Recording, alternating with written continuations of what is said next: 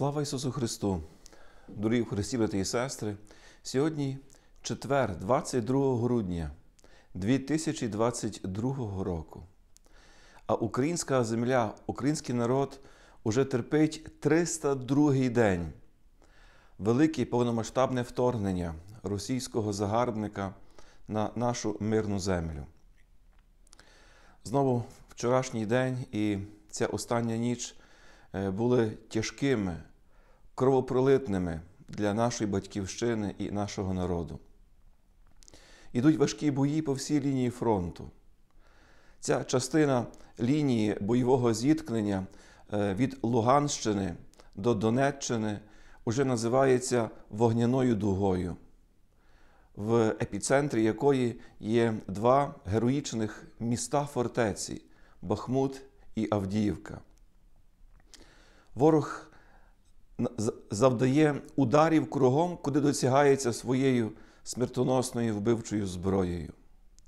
Вчора потужних ударів зазнала наша Харківщина, як на російському прикордонні, так і біля е, міста Куп'янська, на тих щойно звільнених територій на нашій багатостраждальній е, Харківщині. Ворог невпинно обстрілює наше Запоріжжя і Дніпропетровщину. Такі міста, як Гуляйполе, е, Оріхів на Запоріжжі, перетворилися справді на ем, осердя великого болю і мучеництва, де кожного дня люди живуть під російськими ударами і обстрілами. Значних е, ударів ворог наніс по нашій Дніпропетровщині. Якраз е, нашу Нікопольщину ворог обстріляв і градами, і ураганами, і важкою артилерією. Було завдано е, численних руйнувань життєвій інфраструктурі наших міст. Але найбільше болить серце за наших людей. Постраждала навіть восьмирічна дитина, яку вийняли цієї ночі з-під уламків е, будинку, де її родина мирно спала. Ми молимося за наш мужній Херсон, який кожного дня знову живе на лінії фронту. Сьогодні вся Україна потерпає від браку світла і браку тепла.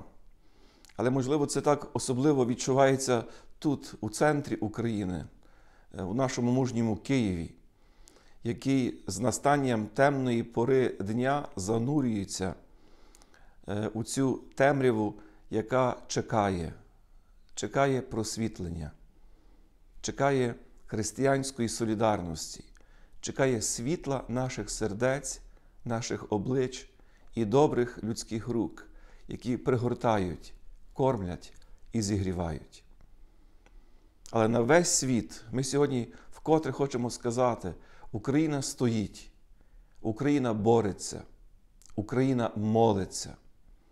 І ми в цей ранок, е, в цей день, коли святкуємо свято непорочного зачаття Пречисто Діви Марії, дякуємо Господу Богу і Збройним силам України за те, що ми живі, і за те, що можемо служити Богові і людям.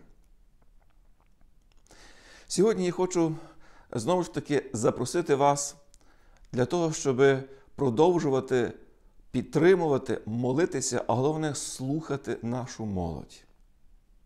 Так важливо мати час на слухання, до якого нас запрошує Папа Франциск.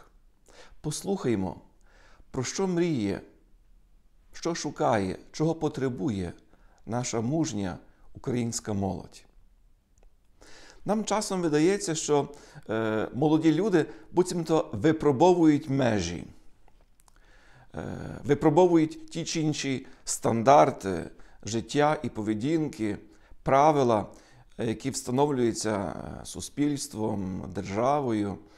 Е, і ми деколи беремо це їм за зле.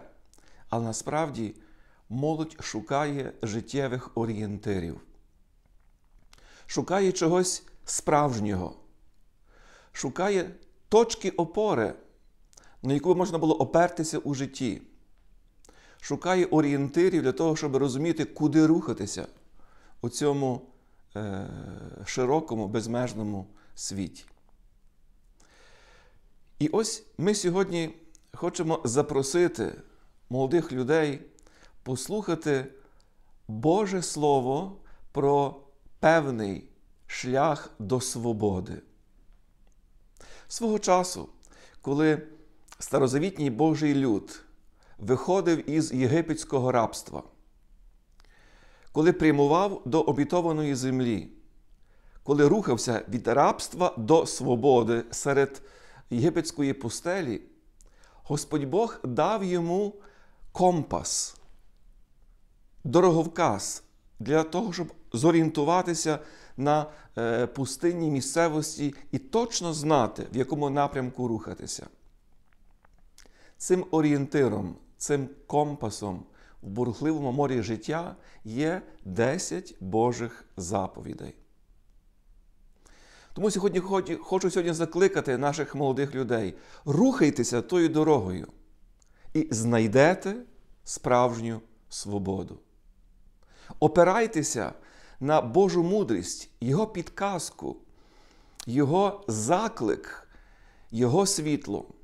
І тоді ви ніколи не помилитеся.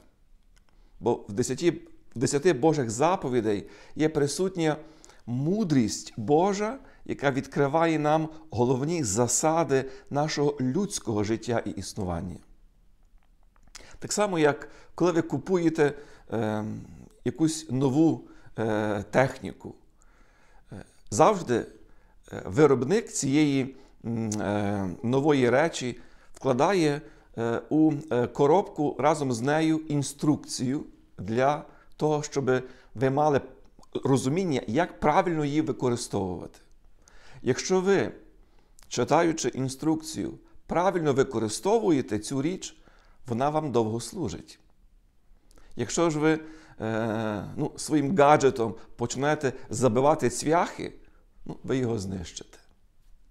Щось подібного є із е, тими правилами християнської моралі. Це, начебто, божественна інструкція для правильного використання наданих Богом вам життєвих сил, вмінь і здатностей. Сьогодні хочу закликати наших молодих людей відкрити для себе правила мудрого життя. Бо християнська мораль, Божі заповіді це не про заборони і обмеження. Це є мудрість життя, яка є справжнім орієнтиром, компасом для вас, які починаєте, починаєте рух свого життя. Нехай ці головні елементи людяності, здорової і повноцінної людської поведінки дозволять вам пройти цю дорогу від е, буття людини з маленької букви до бути людиною з великої букви. Нехай ці життєво важливі правила е, е, нашої поведінки зможуть вам допомогти знайти свою особисту дорогу навіть серед темені, серед розбурхалого житейського моря цієї військової воєнної трагедії, яку ми з вами переживаємо. Будьте мудрі, будьте щасливі, а головне живіть, будуйте своє життя, ідіть цією дорогою життя, якою є Божі заповіді, ті правила, правила справжнього, повноцінного буття, можливості бути вільною людиною. Боже благослови нашу українську молодь. Боже, благослови наше українське військо. Пречиста Діва Марія, у цей день повіряємо в Твої руки нашу мудру українську молодь.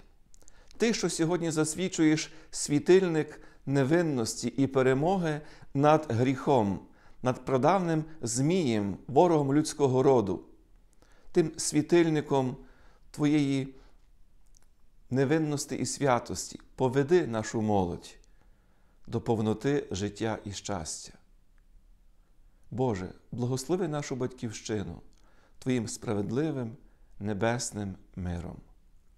Благословенні Господні на вас, того благодаттю і чоловіколюбієм завжди, нині і повсякчас, і на віки вічні. Амінь. Слава Ісусу Христу!